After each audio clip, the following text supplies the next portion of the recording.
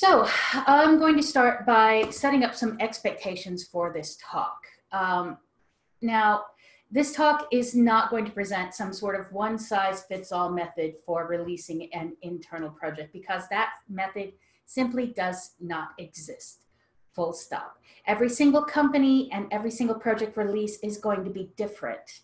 What works for Google is not necessarily going to work for you. So this talk is going to introduce a lot of concepts here. Um, a lot of them are things that I've seen companies do wrong over the years repeatedly. Um, I've done a lot of freelancing around free and open source software strategy. Uh, I've helped a lot of companies with this, and I just see people doing making the same mistakes over and over. And they, these things are preventable. We can do something about that. So I will give you a very high level summary of all of the steps that are required because it's going to be impossible to cover the specifics for every single situation unless we're sitting down having a one-on-one conversation about it. But despite everything I've just said, in the past I have given this talk and received feedback that I just didn't make it easy for people. Um, and it's, these are obviously people who just don't get it. Um, and, and that's probably my fault for not doing a good job of expressing to them that um, this isn't easy. This is never going to be easy. Um, it's also never going to be quick. I don't have a magic wand. I can't wave it and make everything better. Um, this is a complicated process. It takes a lot of thought. It takes a lot of work to do it properly. But for the folks who need a sound bite to take back to their bosses or whatever, here's the slide for you here's all the stuff I'm going to cover. And it's also essentially the consecutive steps that you have to go through in order to release a project. Now, to get into the actual details of how you do this, I'm going to get started with something that I find is more necessary than most people would expect. And that is this question, what even is open source anyway? I'm finding that more and more often it's important to clarify this term open source right up front. And that's because, it, as it turns out, over the past couple decades of just really impressive growth in the use and release of free and open source software projects, people have lost track of the answer to this question. Um, now, I am going to spend a fair bit of time about on this because it is that important. Um, you, it's kind of difficult to release open source if you don't understand what open source actually is. And now it's tea break. Hmm.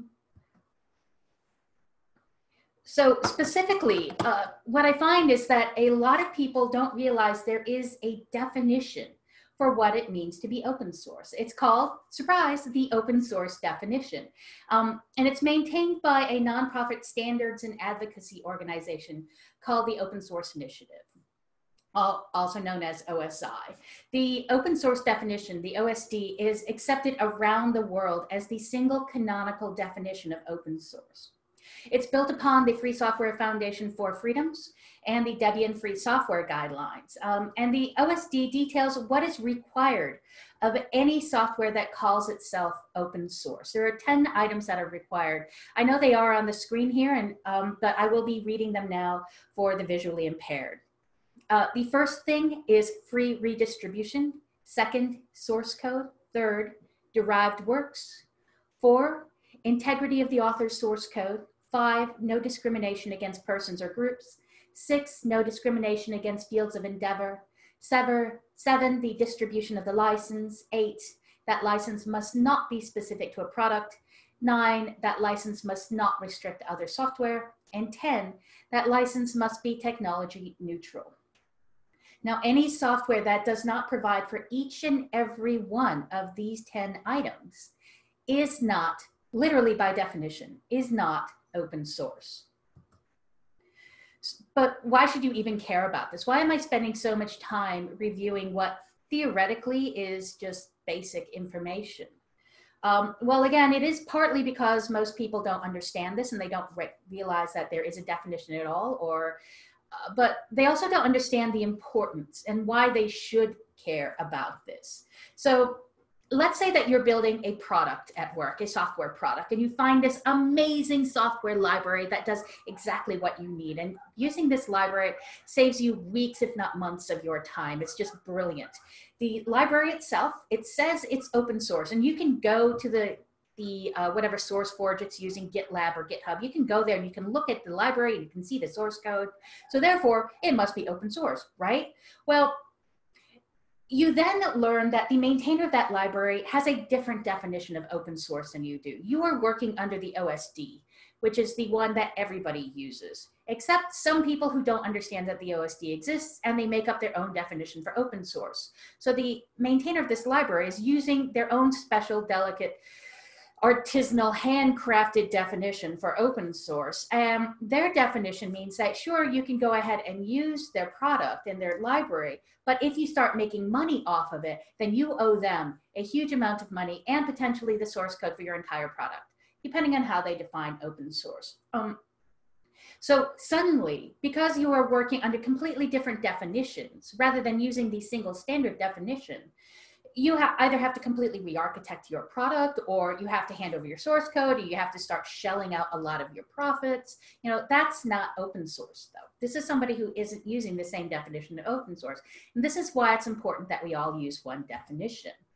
And the OSD helps to prevent this problem. If we all are using the same definition, this is just what standards do, right? Um, we all use the same standard. We all understand what we're getting out of this, both in technology and say in building materials. That's what standards do. They allow the interoperability that makes business happen.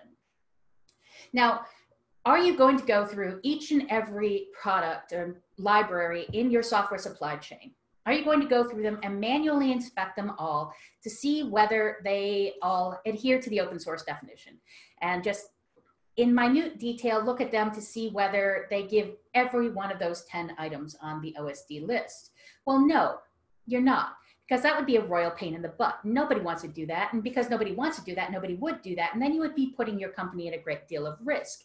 Well, thankfully, you don't have to do that. You don't have to inspect and analyze every single open source product or project in your supply chain because the OSI does that for you.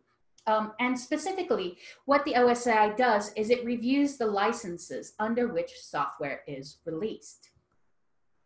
To help ensure all those freedoms and benefits of the open source initiative, the OSI reviews software licenses and compares them against the open source definition.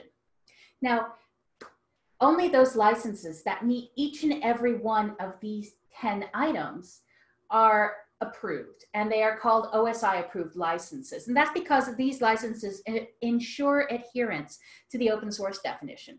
And therefore, only projects that use those licenses, the approved licenses, are guaranteed to be open source. Others might, but you don't have that guarantee of having somebody give the oversight and review those licenses to ensure that you know exactly what you're getting. So this means you don't have to inspect or analyze anything at all. You just look at the license, make sure it is on this list, the one that's on the screen here, opensource.org slash licenses. If that license is on this list, you are good to go. And you know exactly what you're going to be getting. Now, now that you have kind of a fundamental idea of what open source is and what you're getting into, just basically. Um, now it's time for you to take the first step in releasing the project. And this is something that I find almost every single company skips over. Um, and they don't do this. And that leads to some pretty poor results. Uh, they don't figure out why they want to do this anyway. Why are they releasing this? What are the company goals? What are the business needs? Your company has this project that you have worked on internally and you've spent weeks, months, years, I don't know, but a great deal of person hours have gone into this project and you're going to release it. But what are you going to get out of that in return?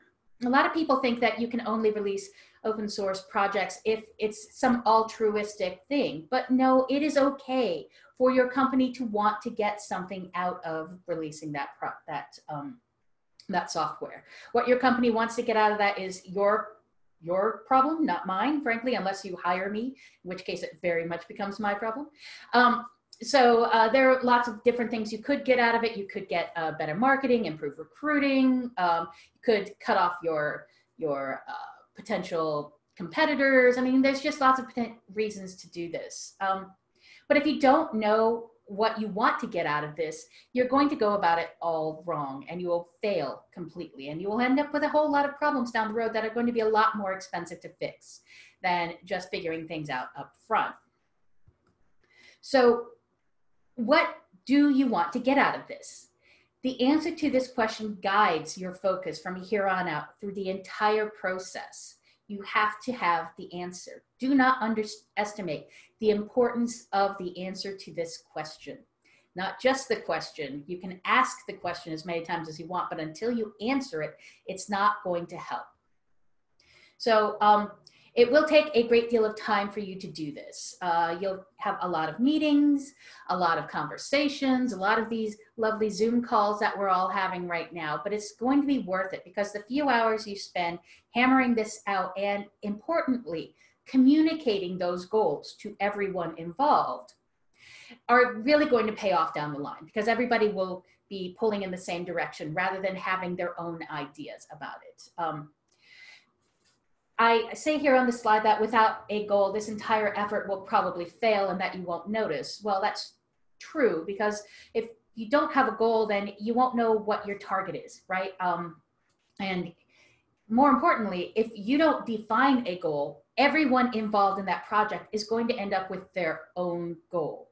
So they'll all go in completely different directions and they will all be pulling against each other rather than pulling together if you don't have a goal, you also don't need know whether you're on track, whether everyone is, if they're all pulling in one direction, are they pulling in the right direction? You don't know because you don't know what direction you're actually going because you don't have a goal. You don't know what metrics are going to be meaningful. You don't know, I mean, you just don't know anything, frankly, without this goal, knowing why you are releasing this project. And again, this is the number one thing I see companies screw up when they are um, are initially trying to release a project. They just don't know why. So please figure this out. Let's assume you have taken the time and you have figured this out and you have communicated it appropriately to the entire team. Um, what's next? Well, next you have to have a look at that project and do some maintenance, do some cleanup, make sure that everything is ready to actually be public. Um, almost every single project is going to have some sort of time bomb hiding it there. It might be a little bitty time bomb, um, or it might be a great big massive lawsuit or uh, data breach sort of time bomb. You don't know until you look. Please don't assume that this is all clean. Take the time to clean everything up and actually review rather than assume. Do you have credentials in there for, say, your AWS bucket, your APIs, your um, let's see, say you have URLs or other uh, server names in there, things that bad hats could use to break into stuff, please clean that up before you release it, before it gets public, because as soon as it's public, just assume it's too late and that somebody will have this vital information and then you're going to have to clean it all up internally as well as externally. So just make sure you clean it up before you release your project. Um, do you have references to any sort of trademarks in there?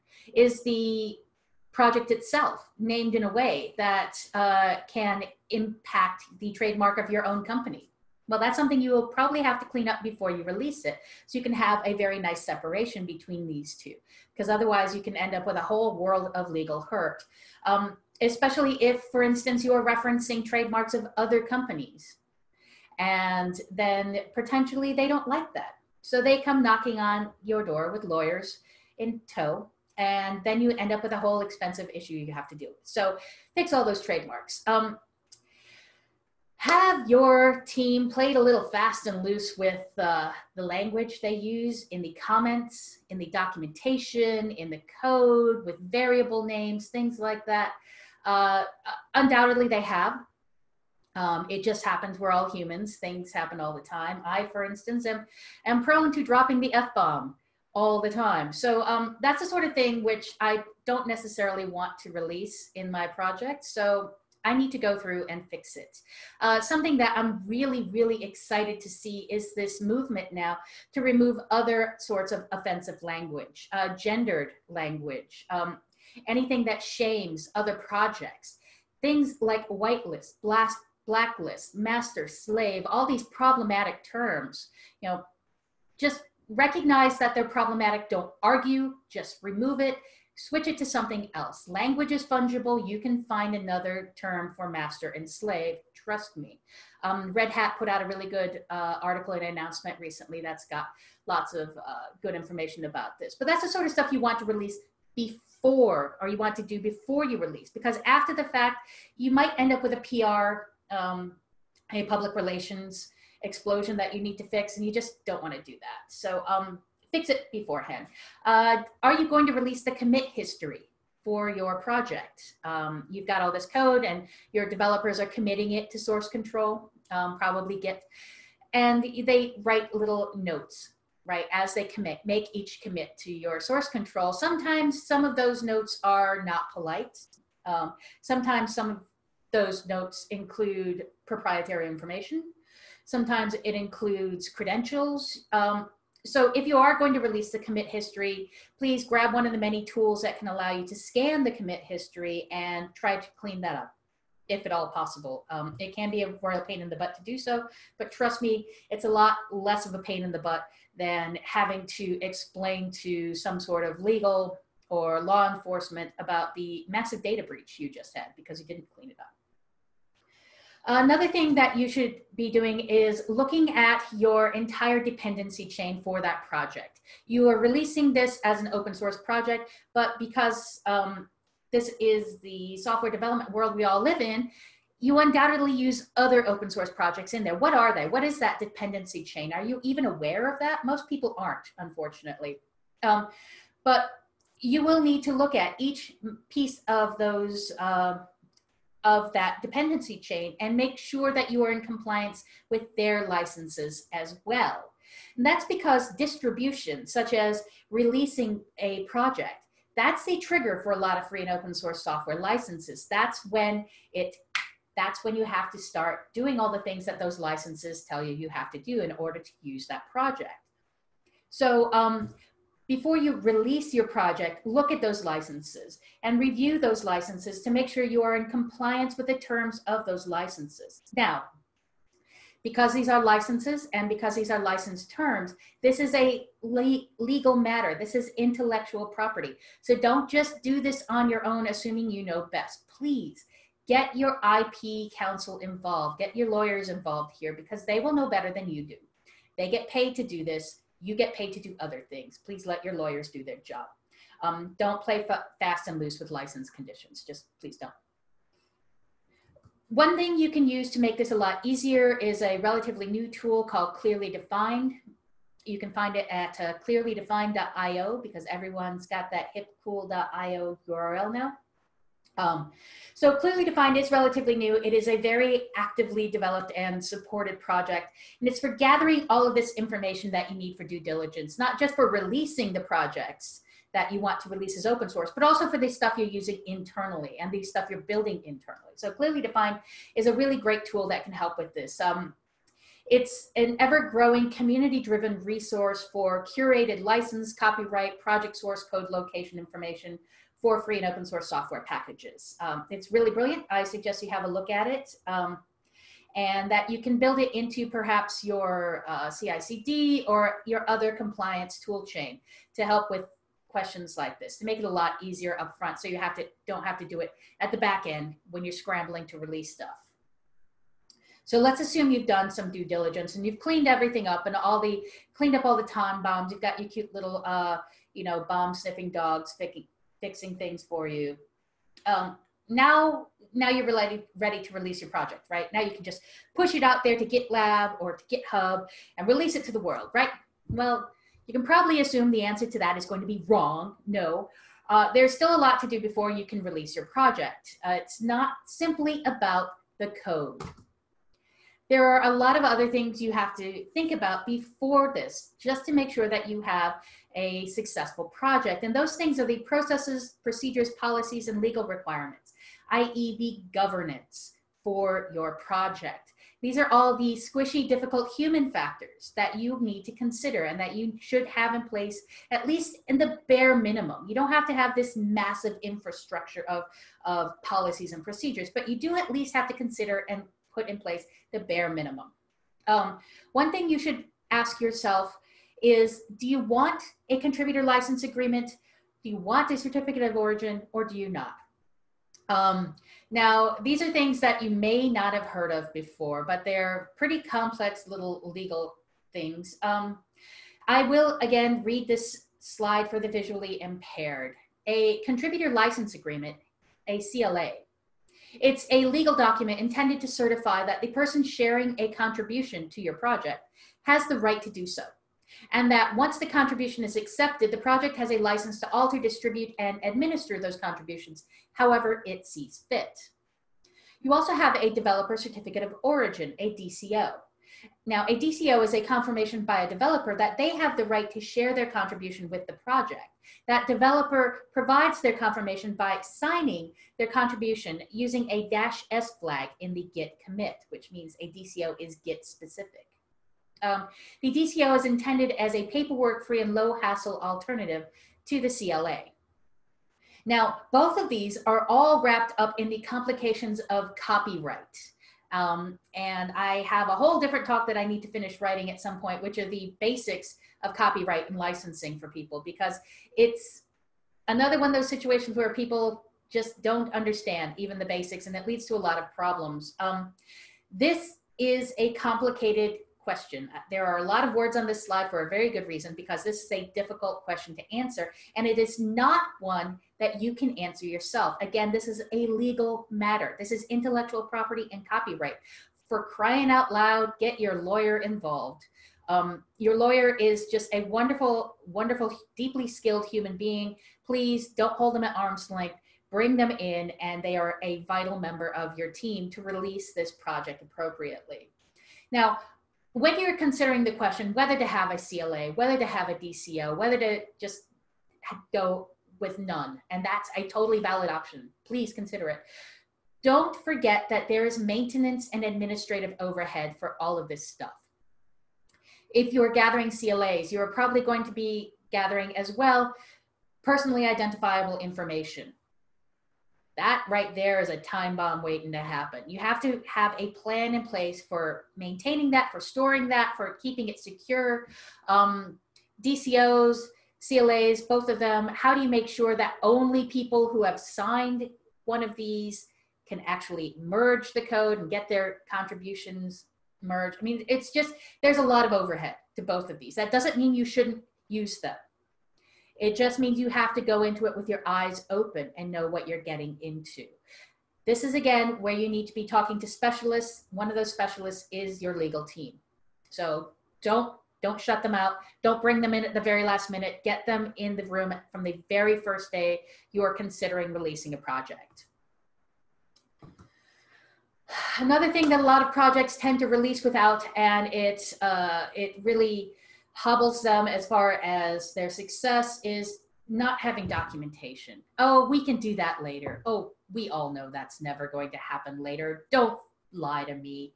So for Love a Dog, please document your project before you release it.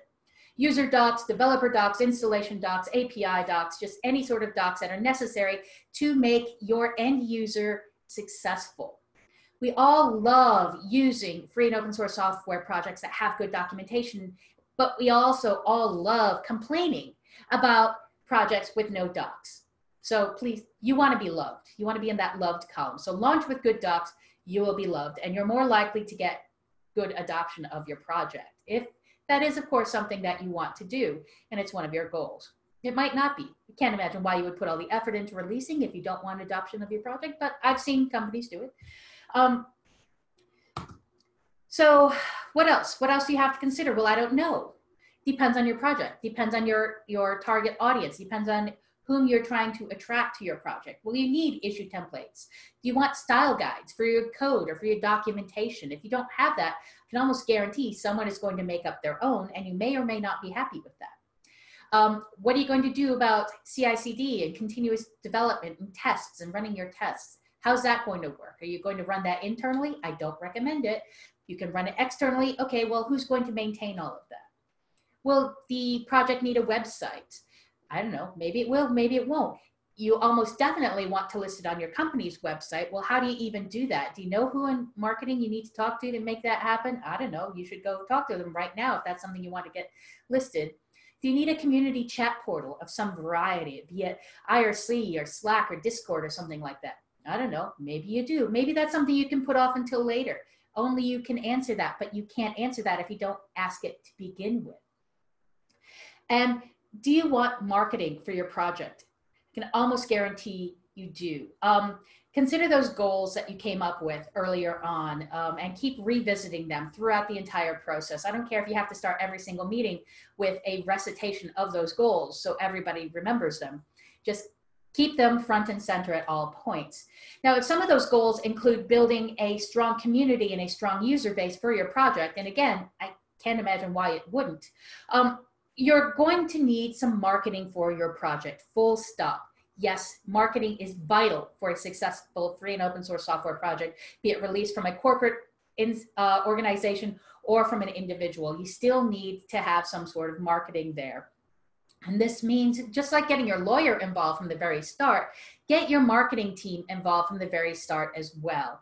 You need to help them get up to speed about open source so they're equipped and prepared to do a really good job with what's probably for them a brand new market that they've never worked in before, and that is the open source community. So get them involved early on, and that will make you more successful.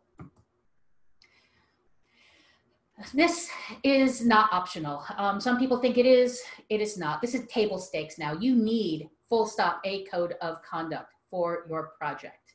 Um, if you are building a community, then you need to establish standards of behavior for that community. When something goes wrong in your community, and it will, because we are people and people are difficult, complicated, squishy things. When something goes wrong in your community, it is difficult and unfair to hold people to unexpressed standards and expectations. That's why you need a code of conduct. Where this is the place where you can be very clear and very open about what we do here. We don't do that here, we do do this here. That's what your code of conduct is saying. And it's absolutely vital to make sure that you can hold people to a certain standard. Otherwise, again, you could be holding them to completely different standards. No, code of conduct, one standard, just like the OSD, one standard.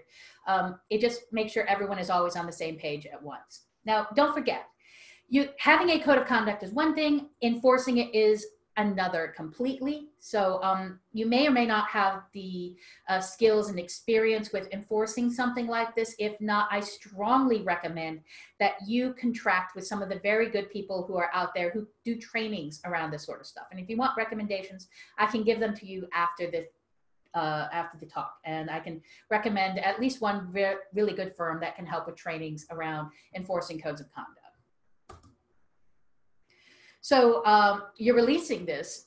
My assumption is you want people to contribute to it for whatever reasons um, and in whatever ways. Well, if you want them to contribute, you really got to tell them how. I don't know how many projects I've seen that are released without telling people how you expect them to contribute.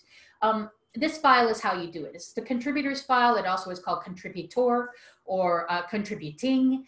Um, so it's just contribute something. You'll, you'll figure it out. It's pretty obvious. Um, read my book. I've got a chapter in that about it. Uh, now, this file should be as detailed as necessary for somebody to be able to pick up this file, not literally because it's probably a markdown file, but pick up this file, read it, and go from zero to contribution all on their own. That would make an excellent contributor file. If somebody's able to self-service and do that. So make it as detailed as possible to allow people to do that. That could mean having pointers to other documentation. Uh, it could mean helping them set up their developer environment, how to open a bug report, how to get a patch landed, um, where are the style guides, what's the roadmap, all these things. At least have pointers to them in your contributors file to make it as easy as possible and just as seamless as possible. This is an excellent user experience sort of thing that you're looking for, where I can just make a contribution without having to bug you at all. And then I feel good about myself and I feel good about your project and I'm going to bring all my friends. And that's just really, don't underestimate the importance of a good contributors file. Um, now, if you don't have one of these, then people are going to invent their own contribution methods. And I can almost guarantee you're not going to like that. It's going to take a lot more effort from your part after the fact to clean up and to try to get everyone to contribute in a way that is streamlined and makes sense. So just write the documentation up front and it'll make it a lot easier for everyone. So, okay, we're going to assume that you have some basic governance set for your project. It's, you've got it established, you've got thought all these things through, what's next? Now you can release your project, right? Heck no, oh my gosh, do not let that out without a license. Now, finally, it is time to choose and apply a license to your project. Because of the way we've done things in free and open source software over the past nearly 40 years, uh, that's uh, free software is about 40 years old, um, open source is 22, I believe. Um, but because of the way we've done things, everybody focuses on licenses, license, license. Yes, they're very important, and yes, they do enable free and open source software to exist at all, which itself enables innovation and all those lovely things you can get out of free and open source software. But licenses are frankly the very last thing you should be looking at before releasing your project. Do all the other stuff first and then talk about your license. Um, the license selection might be influenced by the licenses of that dependency chain I mentioned earlier. If you haven't taken the time to review your dependency chain and see whether you're in compliance with all of those licenses, you should not be selecting your own license because it might be impacted. If you haven't figured out your business goals, your business needs, and your requirements, you should not be talking about what license to select because you don't know which one is going to best uh, support your goals. There are a ton of licenses. Um, every license on the OSI approved list provides each of those 10 freedoms and benefits of the open source definition. But each one also has their own pluses and minuses. There are reasons why there are so many different licenses, and that's because they do actually provide different things as well as those 10 uh, freedoms of the OSD. For instance, lots of companies are very fond of the Apache 2 license, and that's because it has an express patent clause in there. And so companies think that's pretty cool. Other people prefer the GNU public license, the GPL, because they believe in sharing and the free, uh, the four freedoms to run, study, redistrib uh, redistribute, and improve the software. Right? And that's something that your company might believe in very strongly and might be part of your goals for releasing this project. I don't know, but that sort of thing impacts the license that you select. The only way to choose the correct license is to have figured out those goals up front. What are you trying to accomplish by releasing this project? What license will help to support those goals? There are companies that think, well, our goals and our business requirements are so very unique and particular. We need an equally unique and particular license, so we're going to write our own. Oh dear. Please please. There are over 100 licenses on the OSI approved list. And while there are valid reasons for creating new licenses, yes, there are valid reasons for doing this. And there is most definitely room for experimentation, evolution, and innovation in open source licensing. Yes, we need that as well to help keep us growing as a movement. But the chances that your utility that you're releasing internally to the pub to the public, the chances that that requires that experimentation, that innovation and licensing, it's pretty darn slim. I mean, it's it's really slim. So please look at all of your the existing licenses, look at your business needs first before you think that you're some sort of special case because you're special in many ways, but this is not one of them. Also, until a license is reviewed and approved by OSI, it cannot officially call itself an open source license. So releasing a project under a new license, that makes it a proprietary project, not an open source project. Now, there is absolutely nothing wrong with releasing under a proprietary license if that's what your business needs. For instance, the Unity game engine is released under a license which allows people to see all of the code and to use the project. But it's in the proprietary license. So they can't uh, fork, they can't redistribute that code. And, and that works great for the Unity people, but unless you work for Unity, that's probably not going to work for you if you're releasing something. Um, so if what you're trying to do is release an open source project, you need to use an open source license. Don't overcomplicate things by trying to reinvent one of the many very good wheels that are on this list right here.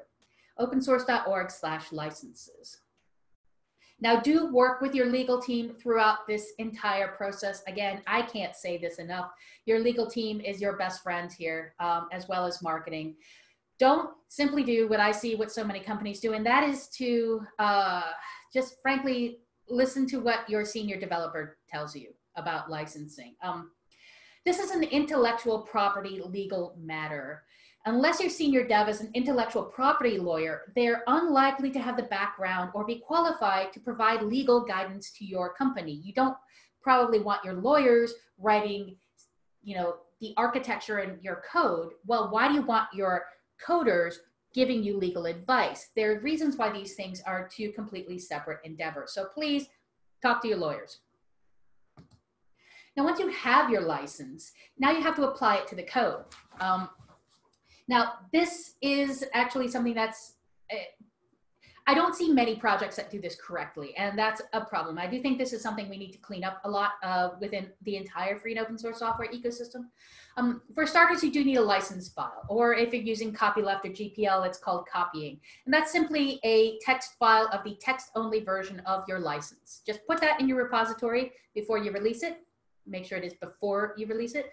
Um, that's fine, no problem. That's quick and easy. A lot of projects do that. That's the easy way out. What they don't do is the next step.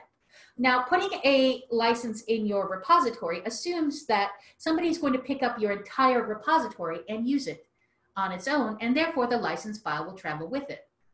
Well, that is a case that happens pretty frequently, but what also happens a lot is that people are now free to cherry pick individual pieces of code and uh, uh, individual files from your repository.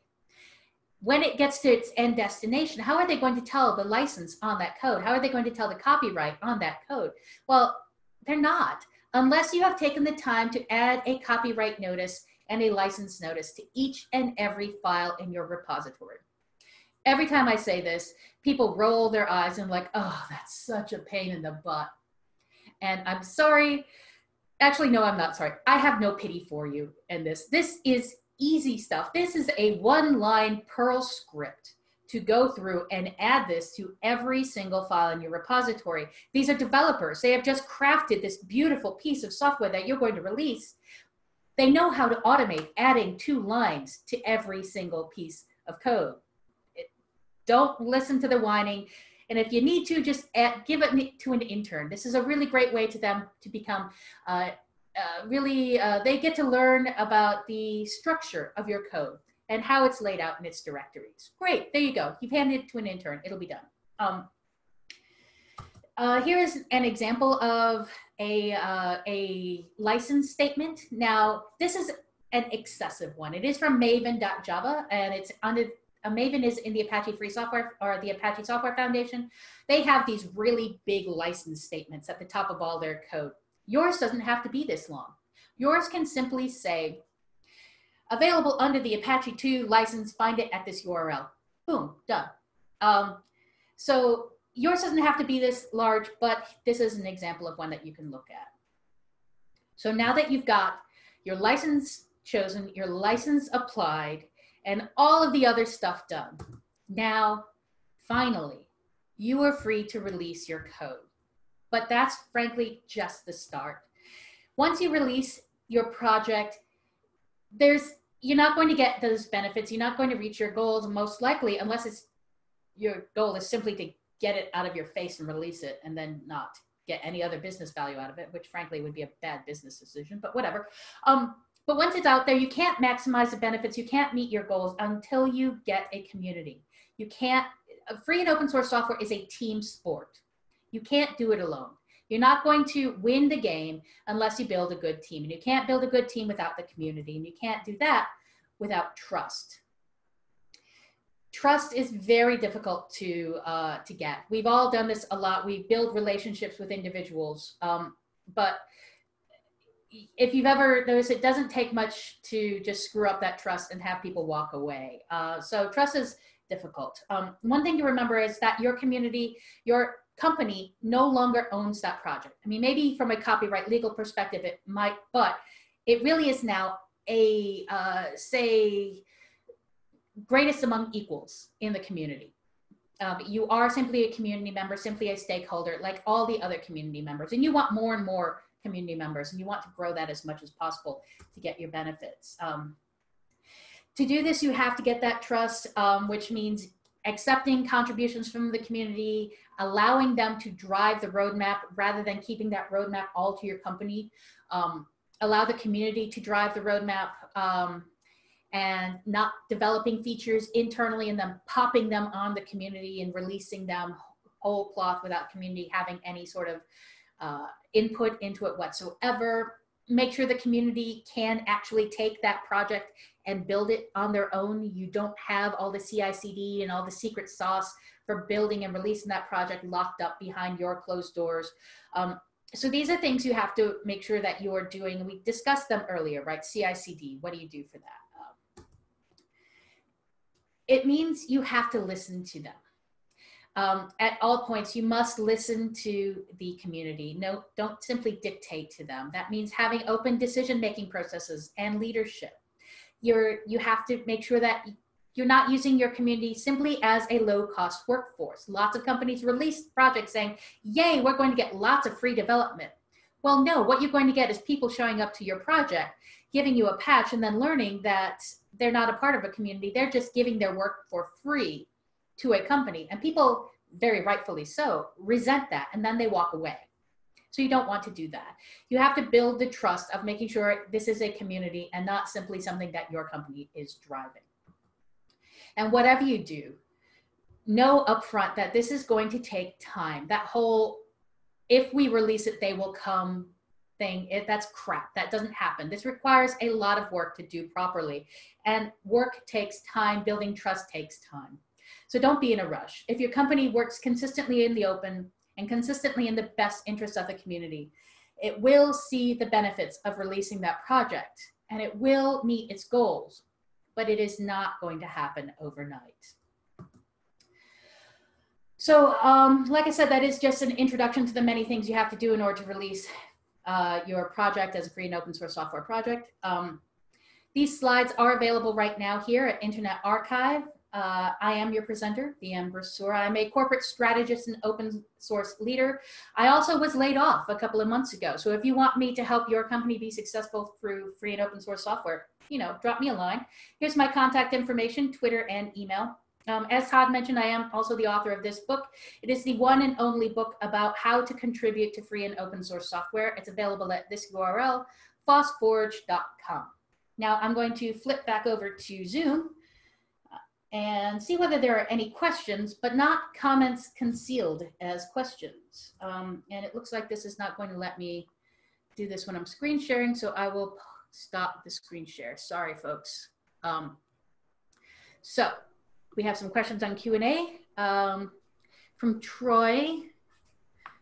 I'm getting calendar notification. Troy, uh, helped open your mind. Um, trying to pitch open source to the company and covering all these topics can be overwhelming and make the business not want to open source a project. In addition to being clear about the value a company is expecting, do I have suggestions uh, for how to start talking about the work involved with open sourcing a project in a way that doesn't scare off the business? Um, that's another talk I have. It's called the business of community, frankly. Um, and that what you have to do is understand the business perspective um, and speak their language. Um, this is as you can see, it is a lot of work, um, but everything you do in a company is a lot of work, frankly. And how do you approach it with any other project, any other product internally?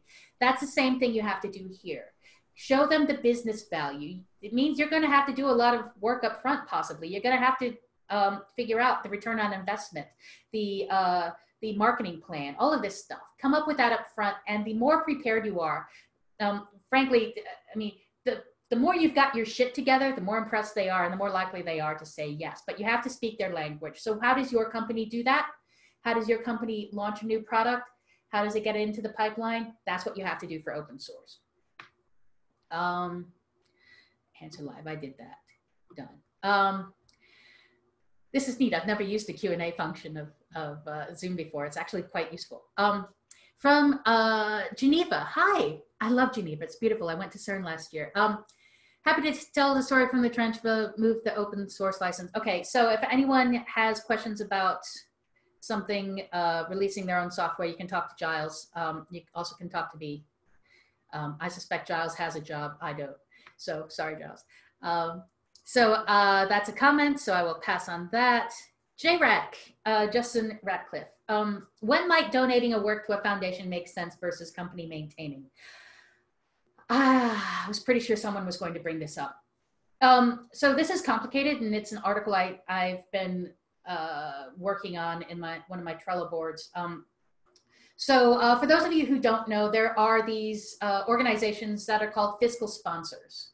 And some fiscal sponsors are called foundations. Now, what they do is they hold the copyright, sometimes they hold trademarks, they um, handle all the money. And they do this for typically, depending upon the services they provide, but they take about 10% of uh, the donations to a project. Um, when does it make sense to hand your company to or your project to one of these rather than keep it yourself? Well, it depends on what you're trying to get out of it. Um, if what is vital to your goals is for that project to be seen as a standalone, independent project, then yes, you need to find a good fiscal home for that. You need to find a good foundation for that. There's lots of them out there. Um, Apache, Eclipse, Software Freedom Conservancy, um, Linux Foundation is absolutely massive and holds lots of projects. Um, so that could be potentially a good home. Uh, but if you don't have a massive project, it might not be a good fit. Uh, in the U uh, the EU, you have things like OW2 um, does a really great job. So there are lots of places where you could put this. So that just adds another decision. Um, a, do you want to move it to a foundation? B, what foundation makes the right choice for your project? Um, and that's a complicated question that you'll have to uh, that you'll have to answer for yourself. I'm happy to help you with that, uh, but you will have to hire me to do it. So let me see. Uh, Jean Georges, um, what's the most common mistake people do? Nis- neglect legal. No, the most common mistake people do is not knowing why they're releasing to begin with, not having any goals. Um, and if they don't do that, then they have no targets, and then they completely miss the targets because they don't have any. So that's the most common. Um, second most common is probably keeping legal and marketing out until the very, very end, if not after the fact and that causes a great deal of problems and also really stymies any sort of potential success you're going to have from your project. So um, those are common things that I see pretty much all the time. Um, they're also, thankfully, some of the easiest to fix. You just have to know to do it up front. Um, we're running low on time, so I'm going to try and scoot through here. Um, Renee does not have a question. Just wanted to thank me. You're welcome. Um, uh, let me see. Um, Jose, um, uh, we are actually running short on time. So everyone, if you could, um, I will try to, if you will email me your questions, I will reply to them via email and potentially turn them into blog posts so everyone here can uh, benefit from them. I just want to make sure that Todd has time to get his stuff done. So uh, thanks for all your great questions. Uh, please email me at ato at vmbrasseur.com and I will try to get to them. Uh, Vicky, thank you very, very much. Um, a favor, you might have already done this. If, if I um, missed this somehow, I certainly apologize here on the front end. Would you put that email address, your contact email address over in chat? There you go. Yep, and that way, um, because I see a number of really good questions coming in, um, and honestly, these, I'm being totally 100% selfish here. These are questions that I, I would like to hear the answers to too. I know I won't have an opportunity to do that, but I would like, um, you know, you to have a chance to maybe follow up uh, if you, you know, choose to do that because the questions really are good. See everyone on this call, I, on, on this, on this um, meet, meetup. Uh, I told you this was going to be fantastic. This is a good topic. This is, Vicky, I, I think this is one of those overlooked, often overlooked topics that is just vital. It is so integral, foundational, and vital to open source. And I just I don't see a lot of talks delivered on this topic. Topic. I don't see a lot of books on this topic, and it's and it's really it's really too bad. So you um, really do a great job. By the way, great talk. Wonderful, wonderful talk as always. We knew what we were getting we've been friends and we've worked with you for a long time, so we knew exactly what we were getting. Um, so here's here's what we're going to do. Um, I'll go ahead and wrap up in the interest of time. I know a lot of the people joining are joining on their you know during lunch. So yeah, it's sort of been a lunch and learn for them. Certainly East Coast might have been breakfast and learn for those on the West Coast, and even dinner and learn for those uh, in Europe and internationally, uh, joining us uh, internationally. So um, thank you all for being here today. Again, re we really really appreciate that. Um, we are going to give away five copies of Vicky's ebook. So if you want, um, if you would like a copy, if you would, uh, I'm going to ask you, I'm actually going to put our email address, drop us an email at uh, info at allthingsopen.org and let us know if you'd like a, a free copy of Vicky's ebook. Uh, the first five to respond or express interest, we'll send you a code. You can use the code to download uh, a copy of the book. And uh, let us know if you'd like a hat or a shirt as well. I'm actually wearing the hat. That's actually why I'm wearing a hat today. Um, and then the All Things Open shirts, uh, we always send out and ship out a few following these meetups. So if you want a hat or a shirt, let us know at the email address info at allthingsopen.org, and we will uh, again we will we will uh, confirm the email the first few to respond. We can't you know send one to everybody, but we'll do as many as as we possibly can. Vicky, great great job. I would encourage you to follow up with Vicky. Everybody on the call um, post call today, you you're fantastic and um, if anybody, again, you said it, but I will re- absolutely repeat it on your behalf. If anybody's looking for consulting help, um, and I know a lot of people are, or if anybody's looking to hire someone, um, my God, man, it, would be the best decision you ever made on both counts. Uh, because again, you've got a lot of expertise in these areas and they're just foundational in our opinion. Um, so I do want to thank our sponsors again, um, Aiven and Mattermost, and also IBM. Obviously, this is not an in-person event, but IBM, they always provide a space. So I know we've got a number of IBMers on the call as well. So thank, thanks to you all um, as well. Um, so our next meetup is scheduled for Tuesday, July 28th. We'll do it again in two weeks. Uh, Jean Georges, I think you're on this call. You're actually going to be delivering a talk on Spark, Apache Spark 3 and you're going to be giving us um, a 30 to 45 minute overview of Spark 3. So that's, uh, I'm interested to see how you do that. So that's the next one coming up on July 28th. I would encourage everybody on this call to join us July 28th as well. And also be on the lookout for our All Things Open announcement coming out later today. It may have just launched uh, or just came out via email. So be on the lookout via email and across social media. But the 2020 conference, um, we are making the announcement today. We're opening up registration and there are some really big announcements related to that so things that we've never done before. So and you'll understand what i'm talking about once you see the announcement come come across. But um, you can always ping us with questions. You can always reach me directly at the info at email address. Vicky thanks again. I've got 104 so we're about right on time. Uh, we got everybody in and out in just in just about an hour, which I think is fair.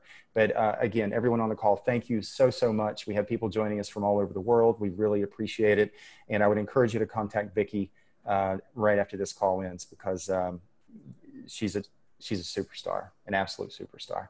That's the last thing I'll say. How about we end on that note? Thank you, Vicky, again. Thank you all. You're I, all wonderful. Thank you, Tatu. I, I, you bet. I only tell the truth. See you all soon. Take care. Hope you all have a great day and a great remainder of the week. Bye bye.